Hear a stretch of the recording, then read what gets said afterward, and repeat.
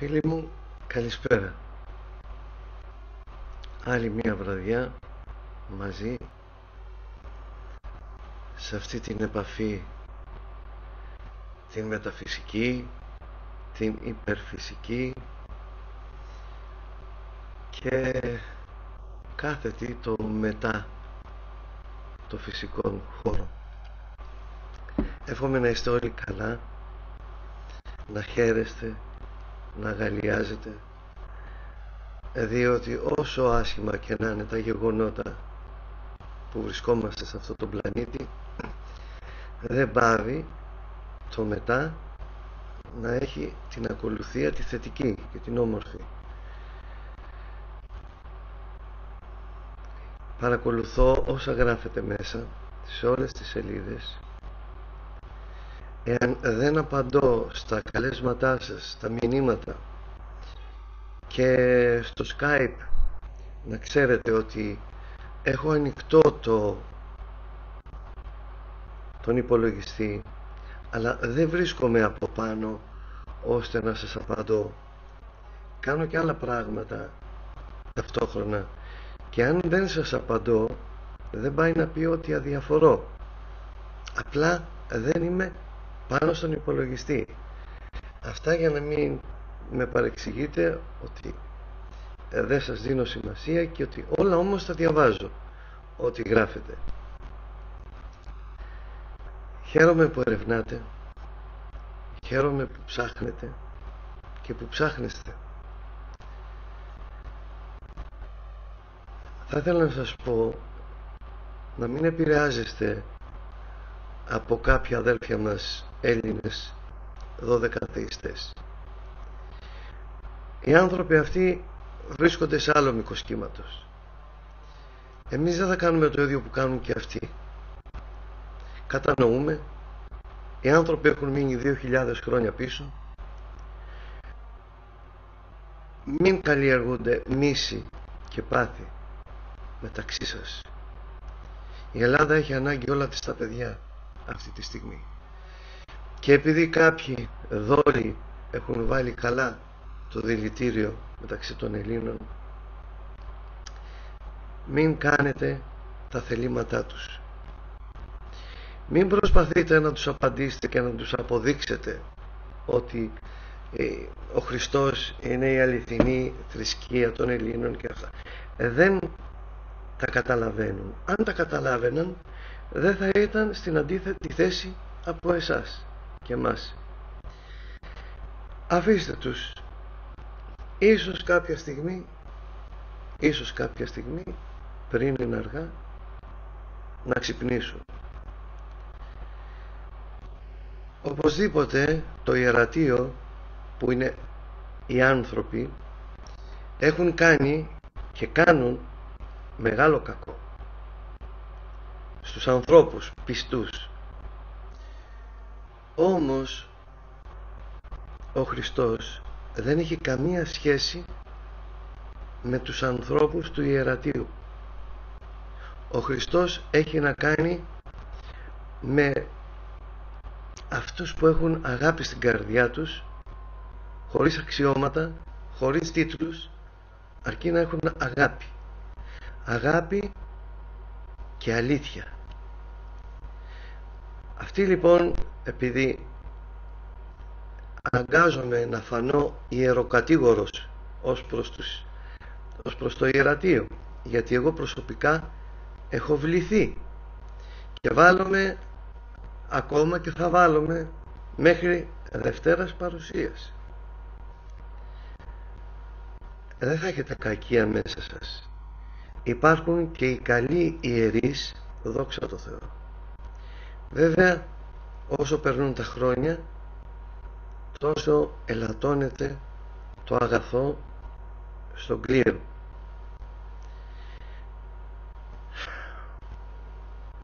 στενοχωριέμαι που τα λέω αυτά. Αλλά δυστυχώς όταν ο ποιμένας χρηματίζεται έχει χάσει το αξίωμά του, την αξία του και όλες τις χάρες του Αγίου Πνεύματος διότι ο Χριστός το αναφέρει στα Ευαγγέλια Του ότι το πίμνιο θρέφει τον ποιμένα δεν επιτρέπεται ο ιερέας να χρηματίζεται και να γίνεται δημόσιος υπάλληλος διότι τότε ακολουθεί τις εντολές του κράτους και όχι της Εκκλησίας του Χριστού. Εδώ το αποτέλεσμα δείτε τι γίνεται με τους παπικούς, τους Λατίνους έχουν ισοπεδώσει τα πάντα με τον οικουμενικό εντός εισαγωγικών πατριάρχη τον Βαρθολομαίο και βαδίζουν την Ελλάδα, την βαδίζουν ώστε να τη το κεφάλι μη γέννητο οπωσδήποτε εγώ είμαι το μαύρο κόμμα. Υπάρχει δυνατότητα ώστε να χρησιμοποιείτε τα μυστήρια της Εκκλησίας του Χριστού όχι των ιερέων του Χριστού. Διότι εμείς αγαπητοί μου φίλοι και αδελφοί είμαστε σώμα του Ιησού Χριστού και κανενός ιερατείου. Αυτοί δυστυχώς διώχνουν τον κόσμο από τις εκκλησίες και θα δώσουν μεγάλο μεγάλο τίμημα θα δώσουν και θα λάβουν. Διότι έχει σκληρινθεί η καρδιά τους. Γεμίζουν τις σκυλιές τους και τα σβέρκα τους παχαίνουν. Τη στιγμή που η Ελλάδα υποφέρει. Ας μην είναι το οικονομικό ας είναι το ηθικό. Έχει χαθεί η αγάπη σκληραίνουν οι καρδιές τους. Φεύγουν οι νέοι από τις εκκλησίες φεύγουν οι νέοι από το Χριστό. Πληνθαίνουν τα άλλα δόγματα παραθρησκευτικές οργανώσεις αδελφότητες τάζουν λαγούς και πετραχίλια και τα κάνουν αυτοί που τα τάζουν γιατί θέλουν να αποσπάσουν τους πιστούς από το σώμα του Ιησού Χριστού. Οργώνουν και τριγούν τις ψυχές των νέων και των ανθρώπων εν ονόματι της ανάγκης εν ονόματι της απίθειας του ήθους που δείχνουν η σκληροκαρδία τους. Δεν είναι ταπεινή δεν είναι ευγενική.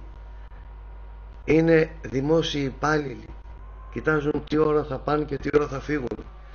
Κάνουν μια ευχή που κανένα μυστήριο δεν πληρώνεται. Κανένα δεν πληρώνεται. Και κοιτάνε πόσα θα δώσεις. Και διστάζει ο φτωχός άνθρωπος να πάει να κάνει ένα τρισάγιο. Μην και του κακοφανεί του ιερέα το πόσα θα του δώσει. Είναι ντροπή. Εσείς όμως αυτά θα τα ξεπερνάτε δεν θα κολλάτε στον παράγοντα άνθρωπο κάθε σχέση, κάθε μυστήριο, κάθε επαφή σας που γίνεται να ξέρετε υπάρχει η αμεσότης μεταξύ του κάθε ενός από εσάς άμεσα, άμεσα με το πρόσωπο του Κυρίου μας και Θεού μας Ιησού Χριστού. Μην κοιτάτε όπως ένας δικαστής μπορεί να είναι ομοφιλόφιλος αλλά την ώρα που θα σε δικάσει και θα σε καταδικάσει δεν θα του πεις δεν δέχομαι εγώ την τιμωρία γιατί είσαι ανήθικος εκείνη τη στιγμή δεν σε δικάζει και καταδικάζει η ανηθικότητα του παρά σε καταδικάζει το αξίωμα που του έχει δώσει η πολιτεία. Γι' αυτό και εσείς να χρησιμοποιείτε τους ιερείς για το λόγο που βρίσκεστε στους ναούς. Μην κοιτάτε ποιοι είναι και τι κάνουν. Πηγαίνετε εκεί πάρτε αυτό που είναι να πάρετε φύγετε. Και φύγετε.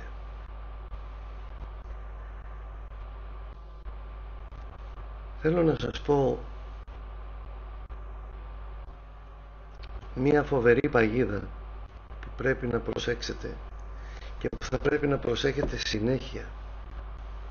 Από εδώ και στο εξής που θα σας το αναλύσω αυτό αν και έχω μιλήσει πάρα πολύ παλιά πάρα πολύ παλιά τέλος πάντων έχω μιλήσει παλαιότερα για τον τον κόσμο των πνευμάτων και επειδή είμαστε σε πάρα πολύ ύπουλες εποχές και περιόδους θέλω να σας υπενθυμίσω πως να αποφεύγετε κάποιες παγίδες των δαιμόνων που λειτουργούν με δόλο και πονηρία διότι δεν γνωρίζετε τα περί και πως αυτά τα όντα λειτουργούν, δουλεύουν και επηρεάζουν. Στο τρίτο μου βιβλίο το Λευκό αναφέρομαι στον κόσμο των πνευμάτων και αναλύω με μεγάλες λεπτομέρειες πράγματα που μέχρι τώρα δεν έχουν γραφεί.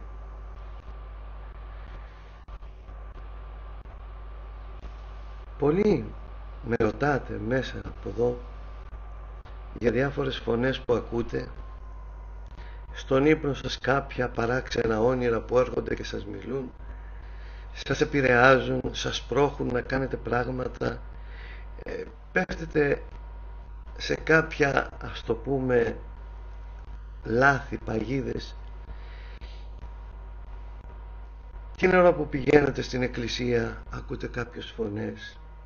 Λοιπόν γι' αυτό θα σας μιλήσω αυτή τη στιγμή ώστε να προσέχετε διότι ο Χριστός αποκαλύπτει τον διάβολο.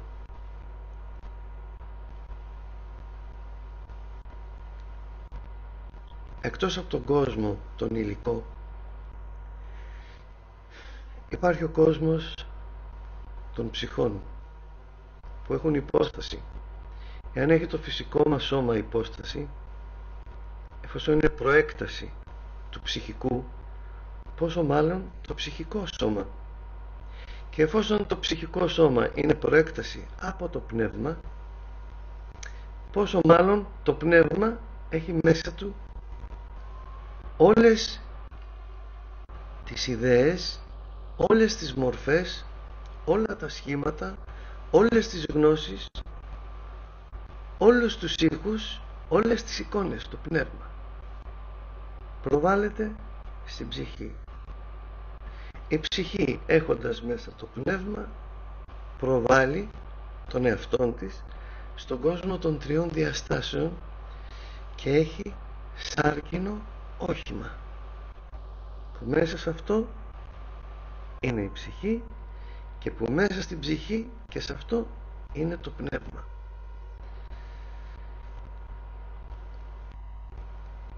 Ο Χριστός Θεός που είναι ζωή έχει δημιουργήσει άπειρα άπειρα κοσμικά ας το πούμε επίπεδα για να κατανοείτε. Δεν υπάρχει ούτε επίπεδο διότι επίπεδο πάει να πει κάτι που είναι έτσι και το άλλο είναι πιο απάνω σαν το κρεμμύδι. Δηλαδή τα λέμε έτσι για να είναι βοηθητικά κατανοητά στην ουσία υπάρχει το άπειρο διάχυτο που μέσα στο διάχυτο υπάρχει ένα ασύλληπτον όλων με εικόνες, σχήματα, μορφές, ήχους, φώτα. Αυτό το άπειρο της δημιουργίας του Θεού ζει και είναι γεμάτο. Πλήρης ο ουρανός. Είναι γεμάτο.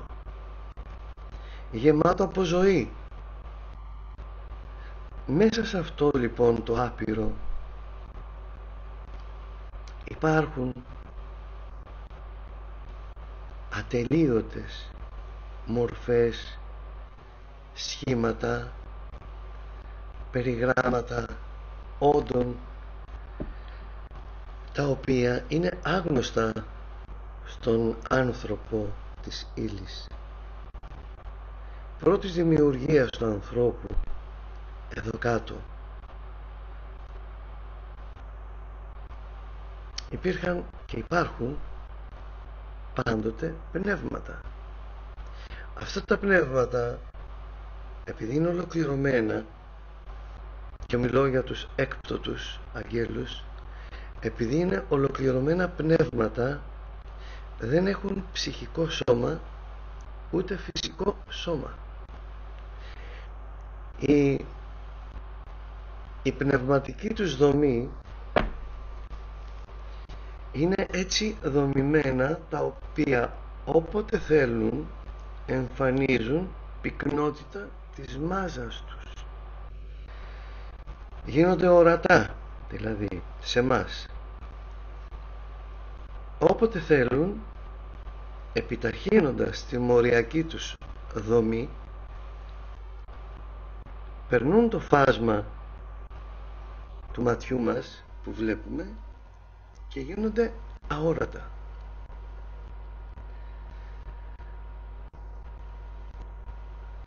Φανταστείτε το οξυγόνο, τα άτομα του οξυγόνου που είναι παντού.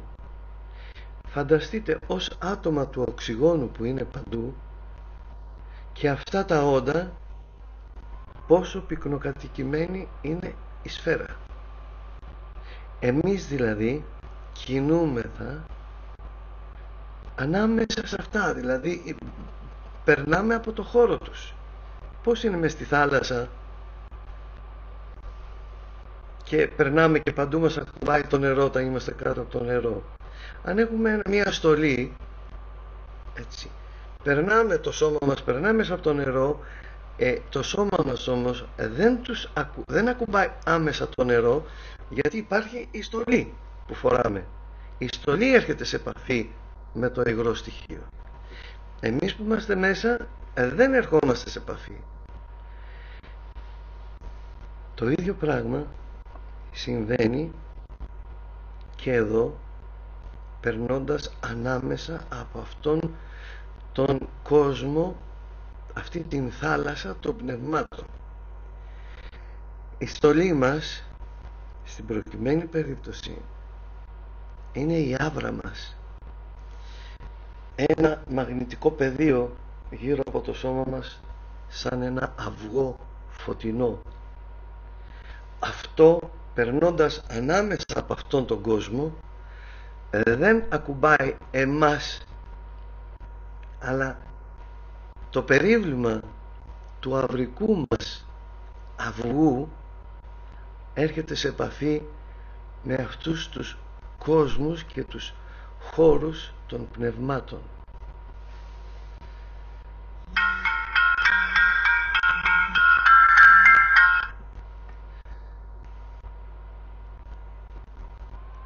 Προσέξτε μία λεπτομέρεια τώρα. Ο άνθρωπος έχει το σχήμα του γιώτα, μία γραμμή. Και λέγεται ακέραιο. Αν αφαιρέσουμε το α, έχουμε το όνομα κεραία. Τα πόδια μας ακουμπούν στη γη.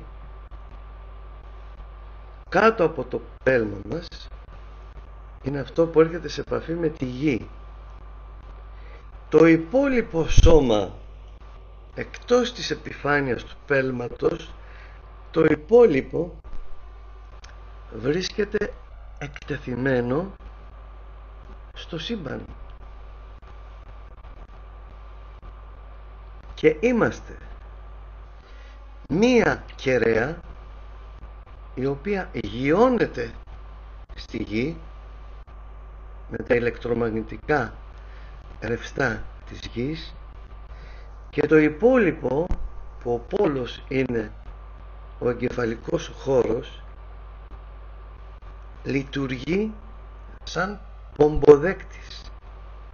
Πιάνει και στέλνει στο άπειρο σύμπαν στις άπειρες διαστάσεις.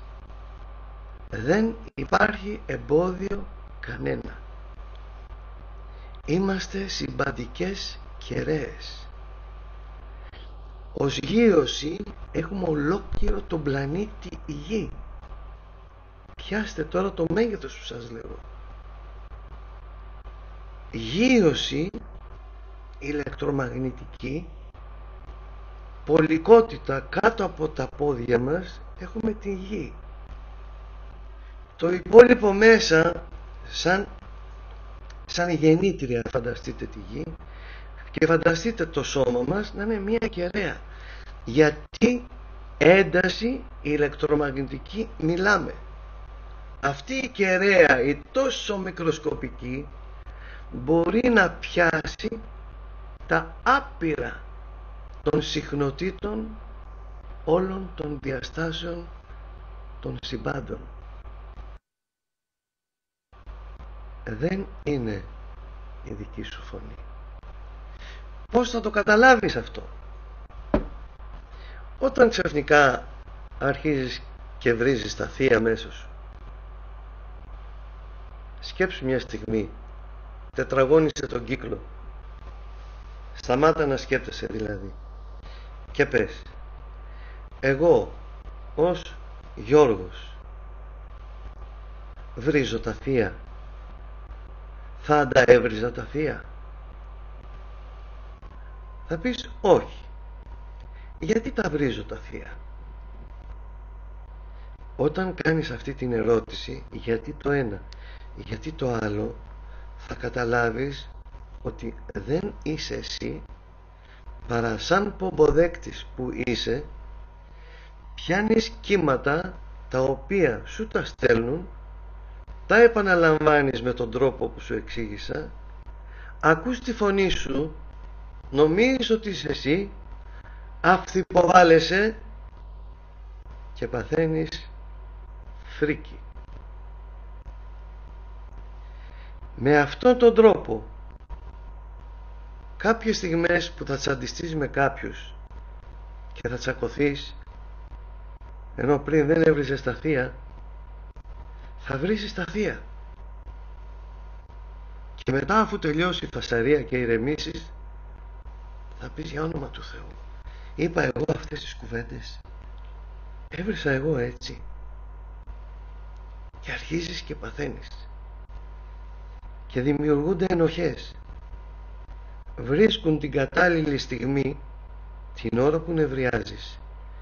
Σου στέλνουν τα κύματα να βρίσεις το δημιουργό σου. Στον βρίζουν τον δημιουργό αυτή διαμέσου εσένα. Εσύ παθαίνεις γιατί νομίζεις ότι είσαι εσύ και έχουν νικήσει. Μετά σου γίνεται ερέθισμα όμορφο τη βρίσκεις θέλεις να δείξεις με το να βρεις τα θεία ότι δεν υπολογίζεις Θεό μπροστά σε αυτόν που τσακώνεσαι και εφόσον θα σκεφτείς ότι εκείνος δει ότι εσύ δεν υπολογίζεις Θεό πόσο μάλλον δεν υπολογίζεις εκείνον οπότε πας να το επιβληθείς με έναν τρόπο τρόμου. Και να πω πω μην τα βάλω με αυτόν γιατί αυτός βρίζει τα θεία. Άρα αφού βρίζει τα θεία πω πω δεν φοβάται τίποτα. Οπότε στον φοβηθώ εγώ πρόσεξε καλά. Ανά πάσα στιγμή χρησιμοποιούν το νου του ανθρώπου για να βλασφημούν. Σιγά σιγά αυτή που βάλεσαι και έχοντας εσύ ανοίξει μία πύλη τέτοια την ώρα που θα κοιμηθείς θα έχεις επισκέψεις αρνητικές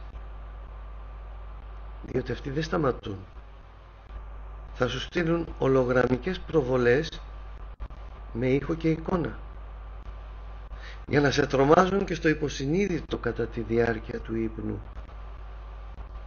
Και θα ξυπνάς και θα είσαι πιο κουρασμένος από πριν πέσεις να κοιμηθείς. Ο κόσμος των πνευμάτων φίλοι μου είναι πάρα πολύ ισχυρός είναι ισχυρός γιατί αγνοείτε τους κόσμους αυτούς εσείς. Δεν γνωρίζετε τα θεωρείτε φυσικά νευρίασα. Έκανα, έρανα δεν νευρίασες μόνο. Χρησιμοποίησες και μεθόδους δικές τους. Με αποτέλεσμα εφόσον βρίζεις τα θεία αυτοί χρησιμοποιούν εσένα σαν διάμεσο αρχίζει και επηρεάζεται και η καθημερινή σου ζωή αρνητικά.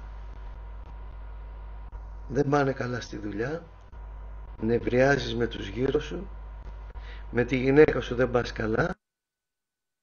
Είχε κινηθεί και σωστά. Το αποτέλεσμα είναι επιτυχία. Μην τα βάζετε με έναν Θεό διότι ο Θεός δεν επεμβαίνει στον άνθρωπο ή μόνο όταν ο άνθρωπος ζητήσει την βοήθεια όταν ο Θεός παρουσιάζεται στον άνθρωπο παλαιότερα υπήρχε ένας ήχος. Ένας κουρνιαχτός ένα ένα κάτι ένα σημείο ώστε να καταλαβαίνει ο άνθρωπος από τότε την παρουσία του Θεού. Και υπήρχε μία βοή. Αυτή η βοή η προέλευσή της ήταν θεία. Γι' αυτό και μόνο στο πρόσωπο του Θεού λέμε τη λέξη βοήθεια. Κάνουμε αίτηση ώστε να έχουμε την Θεία Βοή την Θεία Παρουσία του Θεού κοντά μας. Η Θεά Αθηνά γιατί την ονομάζουν Παλάδα; Ή Παλάς. Διότι όταν την επικαλούνται με την παρουσία της δημιουργούσε παλμικά κύματα γύρω της. Σαν σεισμό αυτή τη βοή. Και την ονόμαζαν Παλάς. Από τον παλμό.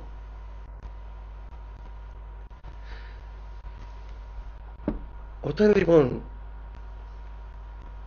αρχίζετε να είσαστε στην εκκλησία.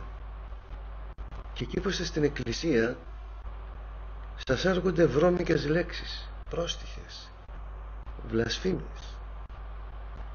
Τον έτσι, το αλλιώς τι κάνεις ρε; Πας τώρα να κοινωνήσεις σήκω και φύγε από εδώ ρε. Πήγαινε και κοίτα την, την κόμενα αυτή εκεί πέρα πως σε κοιτάει κοίτα και κοίτα το άλλο. Όλα αυτά δεν είσαστε εσείς ξυπνήστε και μάθετε να ακούτε. Μάθετε να ακούτε. Διότι όταν μάθετε να ακούτε μπορεί μέσα στη δική σας φωνή να αντιλαμβάνεστε την παρουσία αυτού.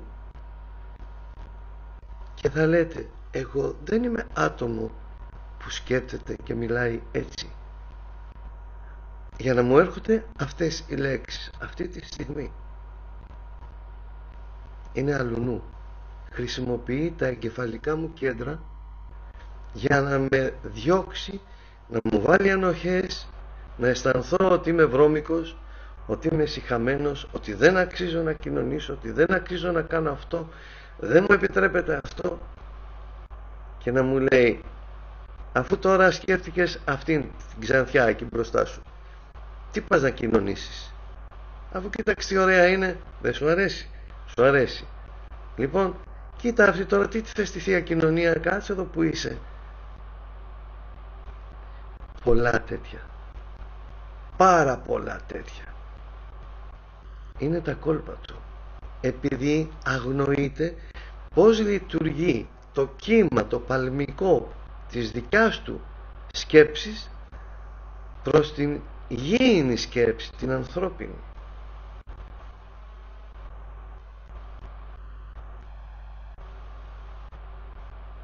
Όταν θα σας συμβαίνει κατά τη διάρκεια της προσευχής μία τέτοια παρεμβολή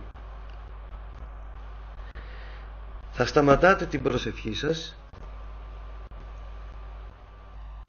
θα δημιουργείτε μία παύση νοερή μέσα σας. Φανταστείτε ένα ολόλευκο φως να σας περιβάλλει. Φωτεινό αυτό του νέων το φως αλλά πολύ ισχυρό.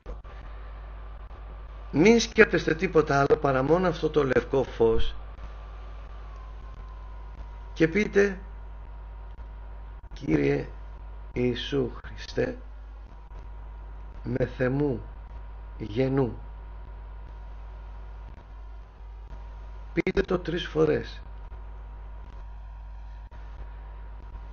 Διότι το η συνείδηση του ανθρώπου και το υποσυνείδητο περισσότερο δουλεύει με τις εξής τρεις βαθμίδες. Κάποιος χτυπάει την πόρτα και ακούμε τον ήχο. Η δεύτερη κίνηση είναι να πούμε ποιος και η τρίτη κίνηση είναι να ανοίξουμε την πόρτα το υποσυνείδητο λειτουργεί με τρεις βαθμίδες. Δεν είναι τυχαίο το τρία που λέμε. Η πρώτη είναι έχουμε την ιδέα. Η δεύτερη είναι την υλοποιούμε μέσα μας. Και η τρίτη είναι ότι έχουμε αυτό που αιτηθήκαμε που αιτήσαμε. Γι' αυτό θα το πείτε τρεις φορές. Μετά από τις τρεις φορές θα δείτε ότι οι φωνές έχουν πάψει. Και συνεχίστε την προσευχή σας. Αν θα ξαναέρθουν μετά θα κάνετε πάλι το ίδιο. Σε κάποια άλλη εκπομπή σας είχα πει αυτό που είχε πει ο Απόστολος Παύλος. Φτιάξτε πανοπλίες γιατί δεν έχετε να κάνετε με φυσικά σώματα έχετε να κάνετε με πνεύματα που οι πανοπλίες οι ανθρώπινες δεν τα εμποδίζουν. Φτιάξτε πανοπλίες πνευματικές. Μία πανοπλία είναι και αυτή που σας έδωσα τώρα. Χρησιμοποιήστε την. Μην τα βάζετε με τον εαυτό σας. Μην γίνεστε αυτοτιμωροί. Δεν πρέπει να αυτοτιμωρήσετε πρέπει να συνειδητοποιείτε το σφάλμα να μην το επαναλαμβάνετε και να προοδεύετε. Δεν κερδίζουμε τίποτα με την αυτοτιμωρία. Είναι αντίθετη η αυτοτιμωρία. Λογική συνείδηση και ευπραξία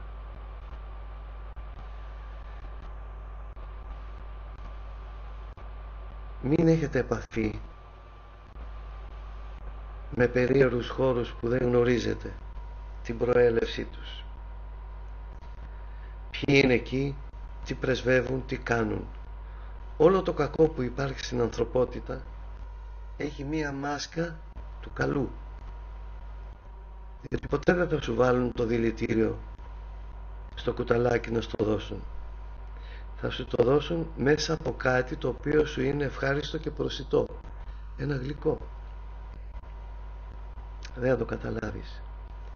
Έτσι και αυτοί χρησιμοποιούν αλήθειες σωστές φαινομενικά διδασκαλίες που ακούγονται ωραίες με ονόματα παράξενα, χρώματα, ζωγραφιές κοιμισμένα καράβια για να επηρεάσουν το υποσυνείδητο με ζωγραφιές αρχαγγέλων, χρώματα, άβρες, πράγματα, σύμβολα εκεί της νέας εποχής να σε παρασύρουν από το δέλεαρ του ματιού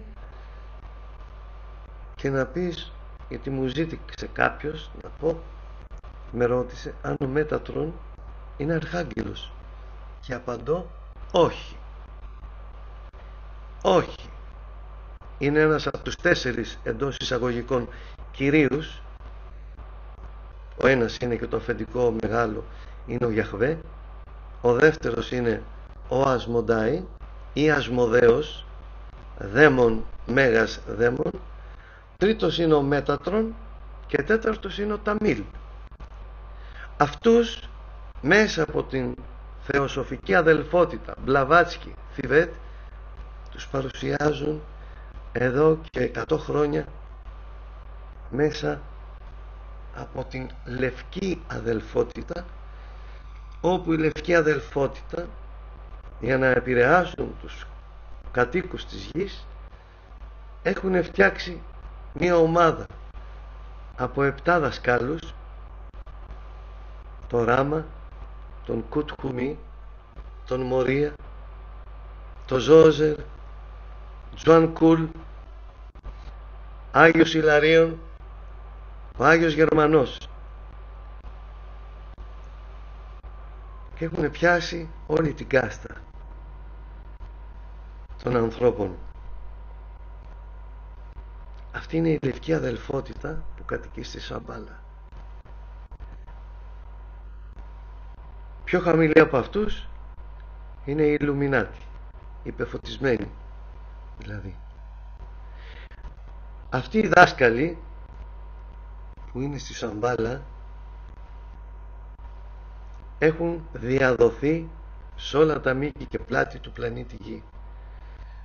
Να παρασύρουν τους ανθρώπους να βγουν από τη βασική πίστη του Ιησού Χριστού που οι πρώτοι είμαστε εμείς οι Έλληνες που από τα χέρια του πήραμε την ορθή δόξα δηλαδή την αληθινή δόξα της πίστεως των μυστηρίων του σύμπαντος.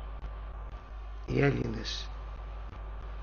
Τους άλλους τους έχουν στο τσεπάκι προτεστάντες, καθολικούς αυτά τους έχουν στο... την Ελλάδα ζητούν.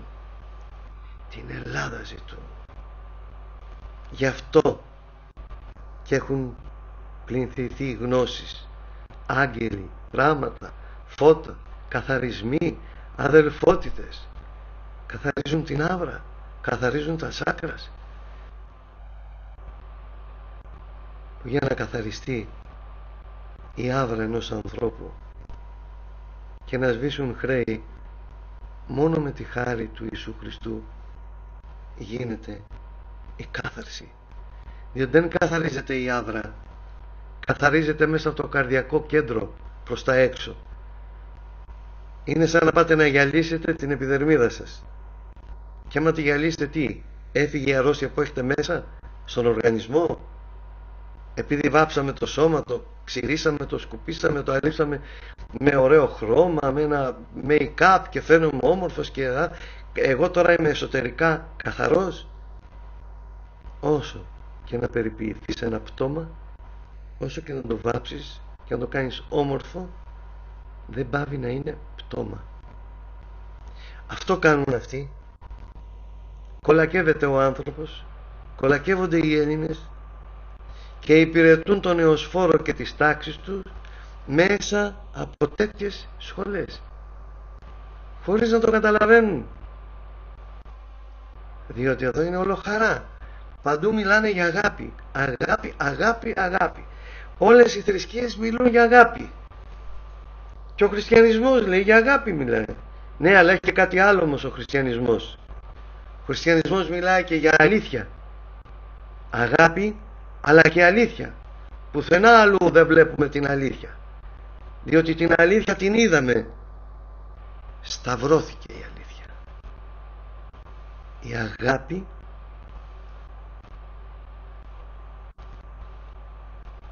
έχοντας την αλήθεια σώμα η αλήθεια σταυρώνεται. Η αλήθεια ανασταίνεται. Αληθώς ανέστη πουθενά αλλού. Δεν θα ακούσετε ούτε στους καθολικούς. Το αληθώς ανέστη. Αλήθεια η Ανάστασης. Πουθενά αλλού λοιπόν. Όλες οι θρησκείες μιλούν για αγάπη και ο διάβολος για αγάπη μιλάει. Θα σας φέρω ένα παράδειγμα. Να δείτε την εξίσωση είναι ένας πάρα πολύ κακός άνθρωπος όσο είναι στη ζωή. Κάνει εγκλήματα κλέβει ρουφιανεύει όλα τα κακά. Πεθαίνει. Και πάει στην κόλαση. Στην κόλαση ο Θεός του κακού στην κόλαση είναι ο διάβολος. Ο διάβολος στον κακό μέσα στην κόλαση. Μπορεί να του κάνει κακό. Όχι. Άρα ο διάβολος προς τον κακό μέσα στην κόλαση δεν είναι ένας καλός Θεός του κακού. Καταλάβατε ότι και ο διάβολος αγαπάει να κάνει κακό.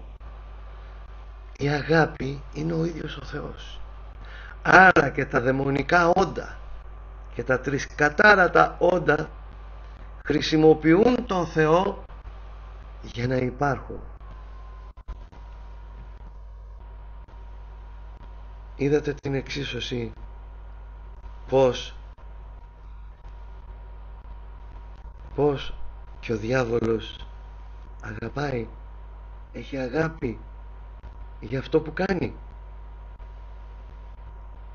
Πόσο μάλλον λοιπόν στους χώρους που πάτε που δεν γνωρίζετε σας κολακεύουν μεγάλες λέξεις και κουβέντες. Μοιήσεις πήρε στην τάδε μοίηση ξέρετε τι πάει να πει μοίηση μοίηση πάει να πει εσύ και ο Θεός να γίνεται ένα. Εξού και μυστήριον. Το μυστήριον είναι από το μειούμε εγώ και αυτό γινόμαστε ένα. Η Θεία Ευχαριστία που παίρνεις είναι το μέγιστο μυστήριο διότι έρχεσαι σε επαφή άμεσα με τη Θεία Ουσία του Δημιουργού σου. Αυτό είναι μοίηση τι είναι μοίηση που σας κοροϊδεύουν; Και λέτε χάρε ράμα, χάρε κρίστα, χάρε χάρε. Μάντρα μου, δεν ξέρετε τι λέει το κάθε μάντρα μου. Και κάνετε επίκληση δυνάμεων τους σκότους αρνητικά χωρίς να ξέρετε ποια είναι η έννοια της λέξεως ή αυτού του κωδικού που καλείτε. Μη γέννητο. Προσέξτε.